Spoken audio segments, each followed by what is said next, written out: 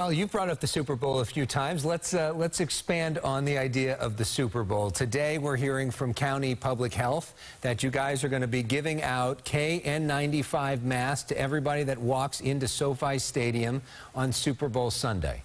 Two questions. Is that also going to be happening this Sunday when just as many people go into SoFi Stadium to watch the Rams versus the 49ers on Fox 11, by the way?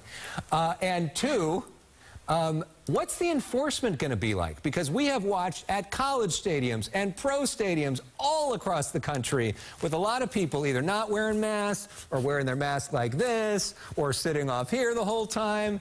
I mean, it's almost a joke when you watch sports games in terms of mask enforcement. So on your first question, yes, each seat will have a K95 mask. It'll be um, this starting this uh, Sunday. Um, on Fox, you will be able to see people wearing the K95s that are given out.